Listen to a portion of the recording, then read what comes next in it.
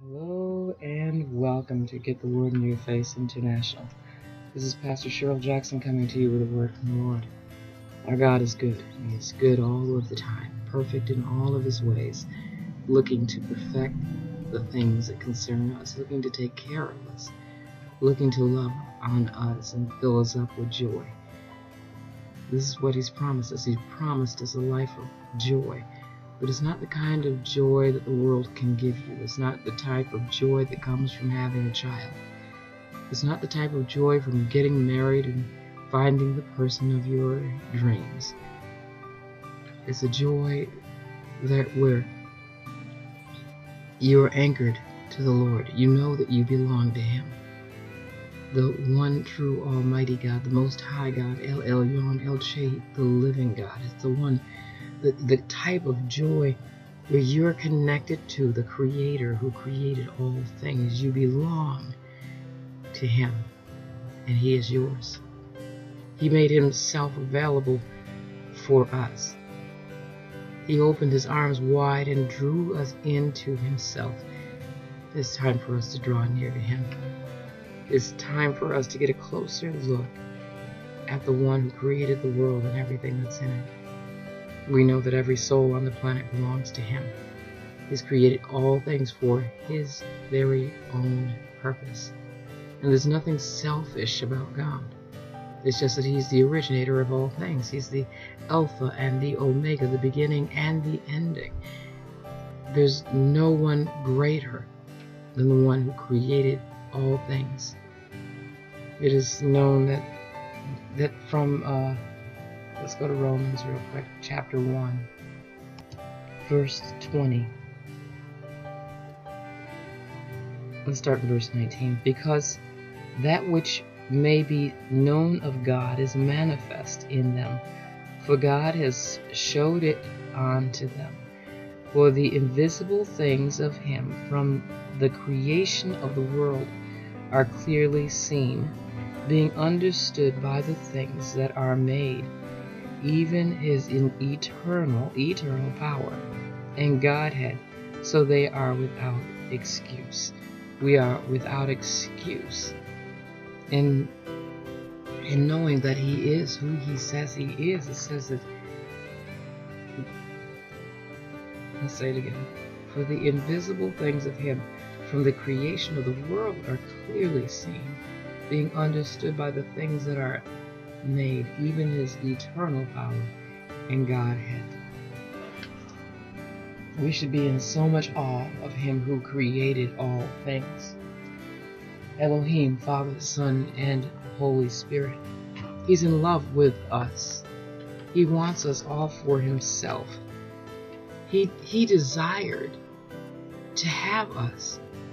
When in the beginning, doesn't doesn't it say that he he made us in His image. He made us in His image after their likeness, the Father, Son, and Holy Spirit. He put, He gave us this this uh, soul, this the spirit soul in, uh, in a body, and He gave us the power to choose. He also gave us power and authority I know it was taken away for a while, but Jesus came and brought us back the authority. But we have to know Him in order to use this authority. Now, does Jesus say it in, in, in John 3 and 3, you know, it's impo- you can't even see the kingdom unless you're born again.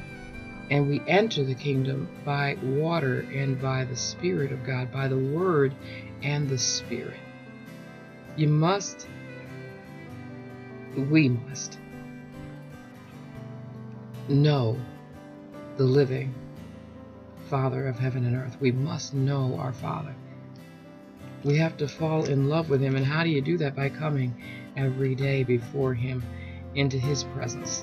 We come into the secret place of the Most High God and we learn the voice of the Holy, of the Holy Spirit so that we can walk in His ways. He gives us, He's given us His divine nature. But that nature only comes because we're hanging around Him every day. We acknowledge Him in all that we do. We don't try to think and, and lean on our own understanding about any situation or circumstance. We come to the Lord because we know He sees everything. He knows it all. Remember Ezekiel. Not, was it Ezekiel and, and yeah, it was. And um the valley of dry bones. The Father, He the Holy Spirit's the one that takes him there to see this great big valley of dry bones. And he asks Ezekiel, Shall these bones live? And what does he say? You know. He wasn't trying to be smart with the Father. Then the Lord did this because he said that.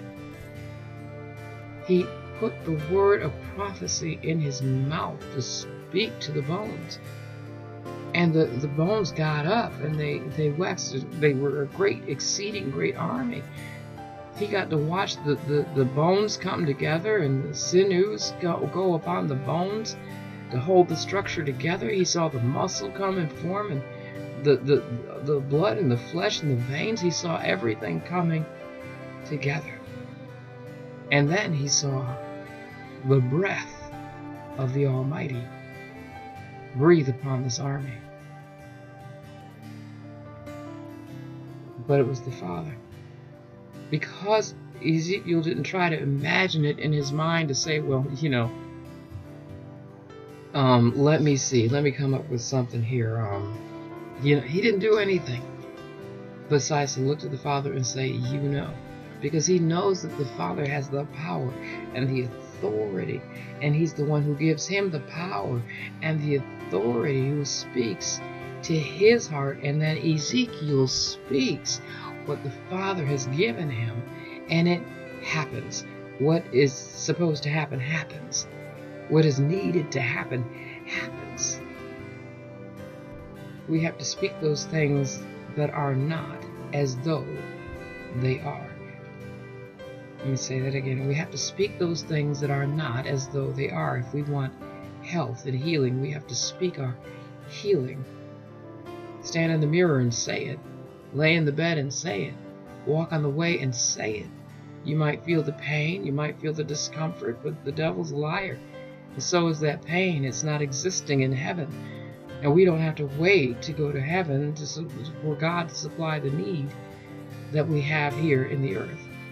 He wants to, he wants, he's, he's given us, I want to say it the right way, his blood. His, he's given us his blood and he's given us his, his, his name. He's given us the testimony of Jesus Christ. God is our salvation.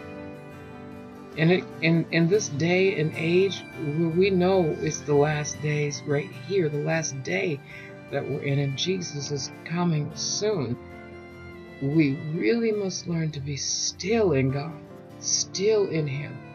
He's working a work when we can't see the work happening. He will do what He's promised He will do. He's, he, his name is salvation. He's got to bring us the testimony of who He is. Look what he does for Israel way back in the beginning, in Genesis, when they're talking about when Moses is up on that mountain getting instruction for how to bring Israel out of Egypt. Well, uh, how does it say now? I am, who, who shall I say is sending me? Who, who, by whose authority am I going to this? I mean, he's got to go to a whole nation and tell them God wants his people to come worship him at Mount Horeb. I think that's the mountain, right? I don't know. But anyway, read the words, so. But, so he's got to go tell this great nation that God wants his people to come worship him. Everybody. And God gives him this I am that I am. Tell them I am. Is calling is is, is sent you. now come on, what's that to Pharaoh? Plus his heart was hardened. He wasn't gonna budge, and yet God bring all these signs, all these miracles, all these wonders God did. to prove that he is who he says he is. I bet people begged Pharaoh to quit it, to cut it out, you know? When that sea turned into blood and when the flies wouldn't stop, when the frogs wouldn't stop, when when diseases were all over their body, when the when the when the what is it comes and the locust came and ate up all the food. I bet the people were begging, please, Pharaoh, change your mind, let these people go. But it took the death of every firstborn in order to let those people go. That's how hard his heart and his mind were. That's how closed up he was toward toward God. Okay. Before I veer off in another direction of the people that we are before every single day. But we live in a season of grace where we pray for everybody and we pray for everything because we want what God wants. We want people to come into the knowledge of who He is. Hmm. Well, this is personal first. This is personal first because we must acknowledge God in all of our ways. We have to understand that who He is, what He desires. We need to fall in love with Him. Love is the greatest power on earth. Hate brings fear and torture. It kills, steals, and destroys. Hate is no good for anybody except for the fact that we need to hate sin. We don't hate people. I'll say it again. Even if people don't understand what they're in and what lie the devil has, has spun them into, no matter how great they are about this or feel towards this, and that's who we are, whatever, that's not the point. We don't have to yell, that's sin, that's sin. Everybody knows. Well, let me say it the right way. We live in a very large world. People need to know the love of God. And the love of God didn't come to condemn the world. The love of God came to the, into the world that the world would be saved through him. This is the Son, Jesus Christ. God is salvation. The Son of His love, the Father's love, came into this world to deliver us from the lie of the enemy. Came to deliver us from the kingdom of darkness where mankind, mankind cannot see. They can't see the living God. Every once in a while they get little pinpricks I know the Holy Spirit is in the world convicting the world of sin, righteousness, and judgment. But it's us who are a candle of the Lord, a flame in the world, lighting the way that leads to life. We're lighting the path. Now, in our lives should be so much goodness going on. So even if even if good isn't happening and people are dying in your life and it's really hurt you, Jesus got up and he saw all the people and he knew that they were like sheep without a shepherd. And he, he has experienced, Jesus has experienced death in his life. He understands what it's like to have people leave him. He knows what it's like to have people leave him. He knows what it's like when when a when a loved one is just not there anymore or they hate you and they despise you for no reason at all he understands what that's like even as a child he understood that he was different and he stood out from the rest and i know he got picked on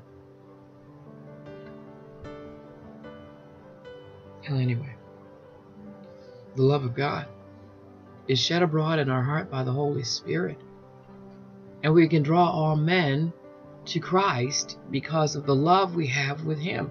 It's a relationship. But we must understand that the Father is. God is. That's where faith first begins. Without faith, it's impossible to please God, for those who come to Him must believe that He is. And that, and, then, and then look at that. After we've diligently come after Him, we're seeking Him with all of our heart, all of our mind, and all of our physical strength.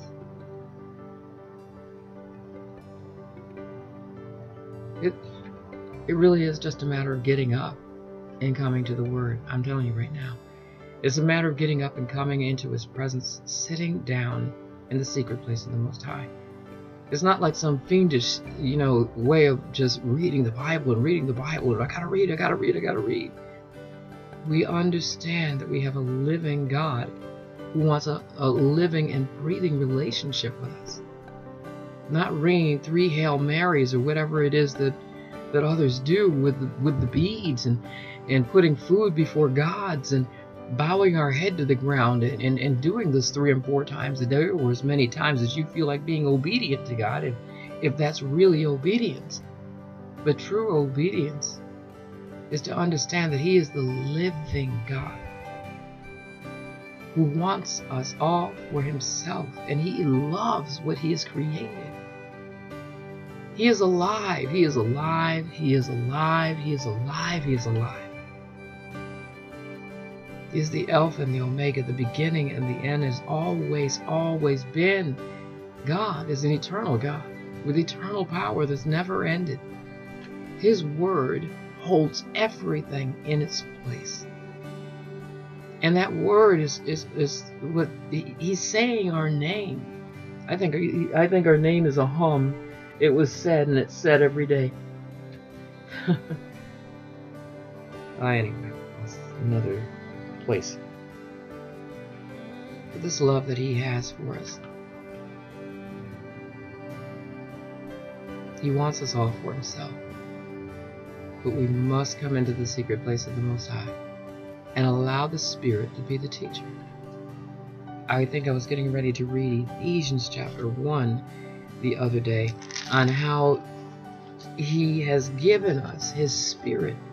He is the earnest, the guarantee of our passage into into when like when Jesus comes and splits that sky it's because we we have the Holy Spirit. We listen to his voice. We know him. We have the word and we have the spirit. We've practiced it right here today. We've practiced it every day that we're walking and talking and breathing in this earth. We are acknowledging the Father Son and Holy Spirit what does it say in Proverbs again? Lean not on your own understanding, in all your ways acknowledge him, and he will direct your path. Yep. We're talking about the light of the world who lights every man. He's living on the inside of us, he's directing our path. I'm just, I'm really fixated on this love that we have in God and that He is alive that He has a purpose for our lives. The purpose is for good. The purpose lifts up the name of the Lord. The purpose brings God glory. It causes all eyes to be on Him. You know, the reason that things are taking so long in the earth is not is because God, our Father, does not want any man to perish. Yet God created the lake of fire for those that don't want to be with Him. They will be cast into utter darkness thrown out into the lake of fire. God has given mankind life to enjoy. Life to enjoy. He's given us Himself, and He is that joy. What does it say? Something like something about great unspeakable joy. I forgot what it is, but anyway. He wants us to have life and peace. He wants us to have every good thing that everything that we need. He's seated us in heavenly places with Christ Jesus and afforded us everything that we need. He put everything that we need right there in the heavenly realm. And the only way to call those things that we see that we don't see into the seeing realm is to go where he is in the spirit. That means sitting before him day and night, walking and talking with him day and night. This is your friend that is closer than any other, closer than any other. Nobody else can be in your heart with you. Nobody else can hear all the words that you say. They can't. You know, I, I would I would put this in here and say that the devil's anointing is in the past. He talks to you about past things or current things. And puts a few puzzle pieces together and knows what you will believe.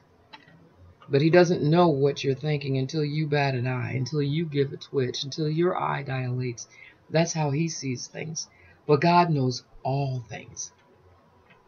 He sees us when we're laying down and when we're getting up. He sees us when we're walking and when we're talking, when we're breathing. He even gives us warnings in our dreams. You can read, uh, I think Job chapter 33 talks about the dreams that we have and why God gives them. Get a couple of translations and really break it down for yourself so you have an understanding. The Father wants us to have understanding. He wants us to have wisdom. He wants us to have knowledge. He tells us in the book of James, ask for wisdom. He will give it to you. He's not going to punish you. He wants to keep you out of temptation.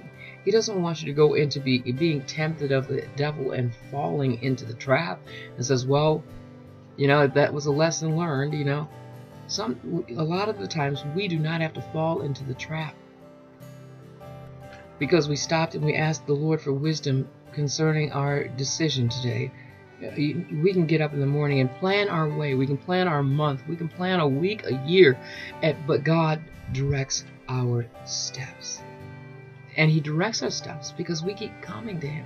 He's not going to just direct your steps because it says it in the Word, but because we have a, a relationship where we are listening for the sound of His voice. We are waiting on Him to, to direct our steps, but it doesn't mean you don't do anything. If that's the case, I don't expect to work today. I don't expect that those kids will be coming through my door at any time. I'm just going to do whatever I want to do and just lay here, just sit here and do nothing. But that's not how it works. Just keep on doing the good things that you know to do. You, you uh, let me add this too. The Lord our Father is not tempted with evil. And I don't know if this is written or not. But when we are tempted, we are God is tempting us to do good. We are his creation, created for good works, good works. So where you might be tempted to view pornography. If you're really listening, you're going to hear a, a, another a, another voice in the inside saying, "Go the other way. Let's do this today. Let's do that today. Let's let's do something else." You know, the phone might ring. Something's going to happen that draws you to a good thing. In order to put down the flesh.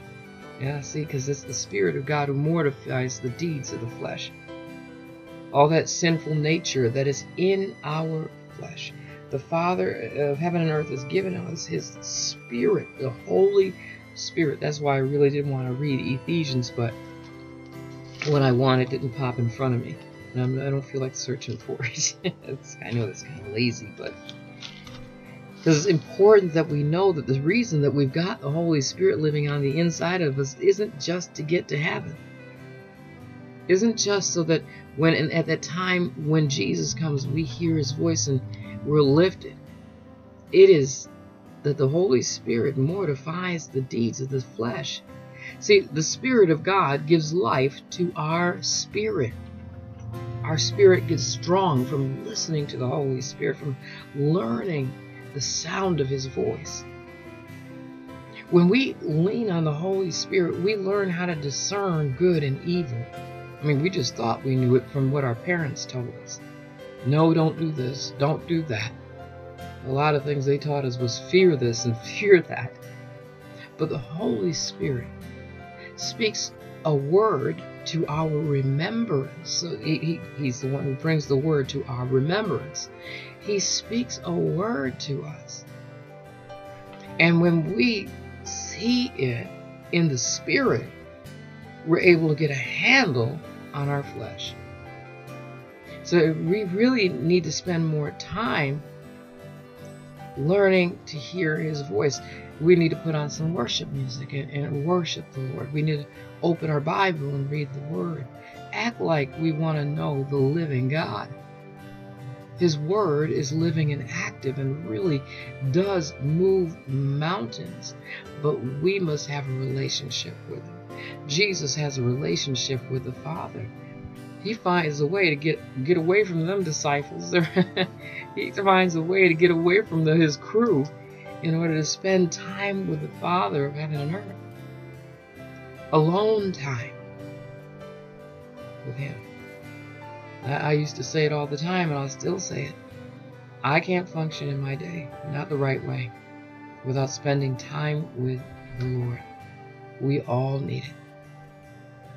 We all need it. In order to have the strength that we need in the inner man, in order to have the wisdom and the knowledge, the guidance and the, the courage, in order to have what else? The revelation, the breakthrough. In order to have that thing that you've always ever wanted, you got to sit down with Him. Come and know, believe, believe that He is God. Jesus said it, that all we need is a mustard seed of faith to move a mountain. To move a mountain. And yet none of us have moved it. anyway, figuratively speaking,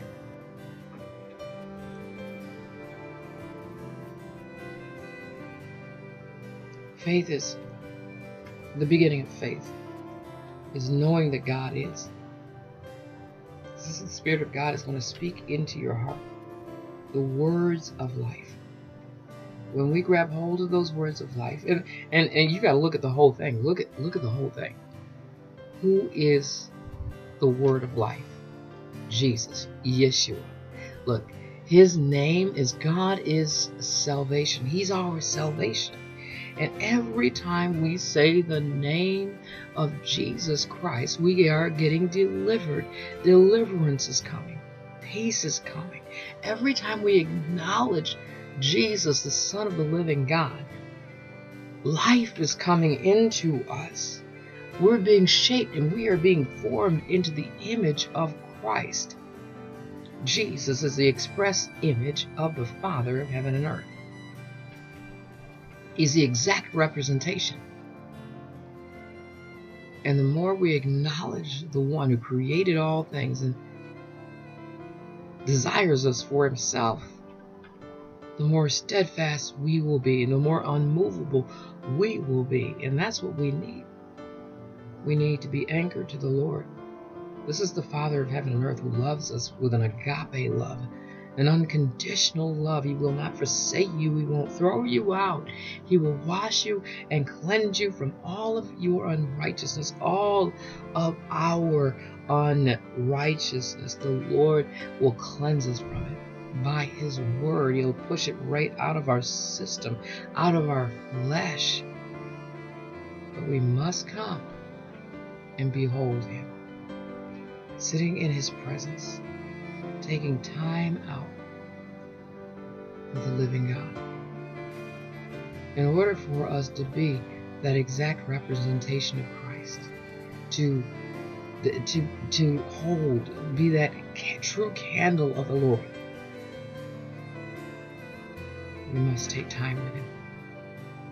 And remember this he works out all things together for our good. He'll never leave us. He'll never forsake us. He won't throw us out. He loves us too much. He'll supply all of our need. He'll give you the baby you desire. He'll heal your womb. He'll heal your head. He'll heal your heart. He'll heal your bone disease. Whatever it is that's ailing you, look in the Word and hold on to the promise because it's a promise that he made and he uh, he always keeps his promises. I believe it. This is the day that the Lord has made. And our testimony is God is salvation. He's deliverance. Not just a way into heaven, but He's delivered us from the kingdom of darkness and put us in the kingdom of His dear Son. He's taken us out of the lie and brought us into the truth. Truth is reality through God's eyes. If somebody should say, "What is truth?" like like like the Pilate did with Jesus. Truth is the reality of life from the perspective of God through His eyes. His eyes see all of the earth. He's created the whole entire world, everything in it, has set up a time frame for us to be in. He knows the last day of mankind.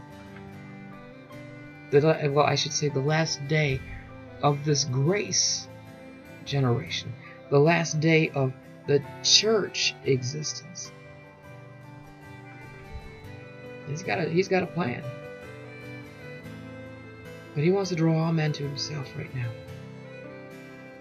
Many are called. Are you coming? Are you coming in to sit in his presence, to know his name, and to abide in him? Because he loves you with an agape love. And I say it again, it's unconditional. Doesn't matter what sin we've ever committed. It doesn't matter. I'm telling you, it really, it really does not matter. Whatever we have ever done, God can cleanse you. He can wash you. He will forgive you of all of your sins. And I'm sorry for whatever you have done, whatever I have done. I am sorry before the living God for you and for me of the thoughts that I thought that, that I thought and the things that I've ever done, anything that I've ever touched, everything that I've ever put my eyes to, and my ears to, and my mouth to, whatever my body has done by my will. I ask the Father for forgiveness in all of me. That He can have all of me and use all of me for His glory. Because in doing so, my joy is so full because He is the living God. I want His thoughts. I want His will. I want to put on Christ today and make no provision for this flesh. He is the Lord of glory, the Lord of hosts. He sees the nature of the devil. He knows the nature of him that we were born into when we were born into this world. And yet he wants to wash us and cleanse us from all of our filthiness. And he's given us his spirit so that we would have his nature. But we must spend time with him in order to get washed clean from all the perversions that we've had in our lifetime.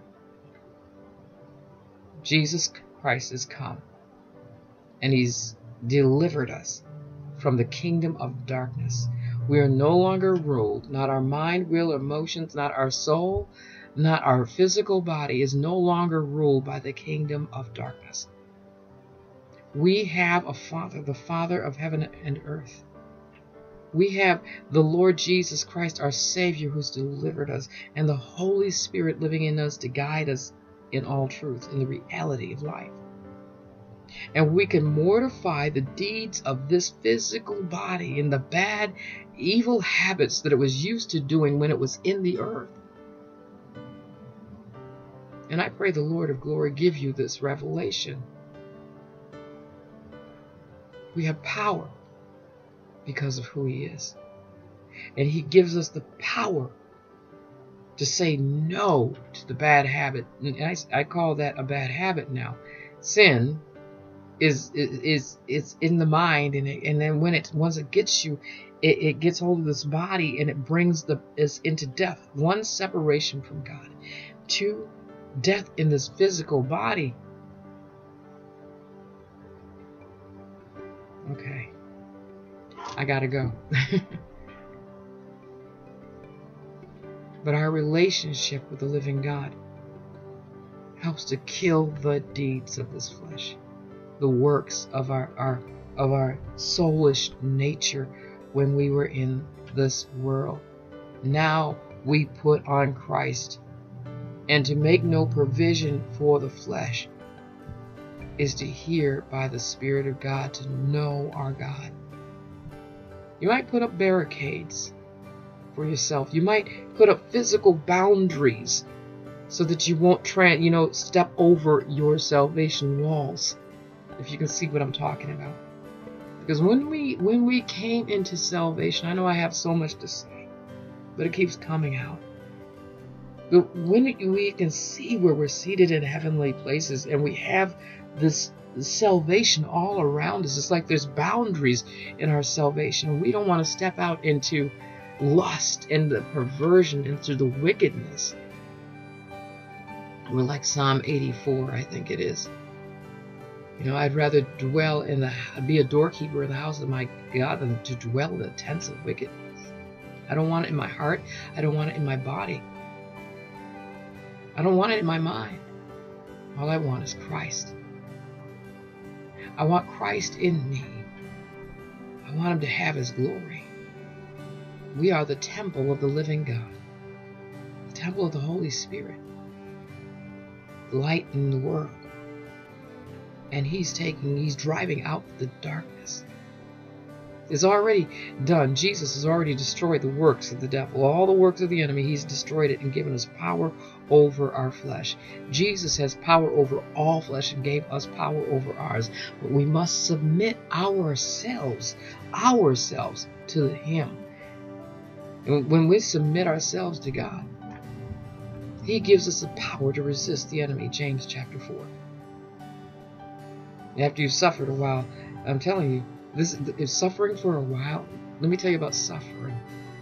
When we're true suffering is saying what you hear the Holy Spirit say, is saying what comes to your remembrance against the, the thing that's coming against you. Greater is he that is in you than he that is in the world. We've been delivered from the power of the dog. We've been delivered from the power and the curse of the law. Anything that was on the side of the curse that brought disease, that brought mental illness, that brought cancer, that brought any evil report, any tumors, and anything. And even demons coming into your house and ruling your children, ruling, ruling, ruling your life, trying to, trying to oppress you. We've been given power and authority by Jesus Christ that they know that we know Him. Start spending more time in Him. I don't know, I've probably dropped off my subject again, but take time in Him. And He will give you, He will show you what you need today. And you'll say that thing, and you it will begin, it will be.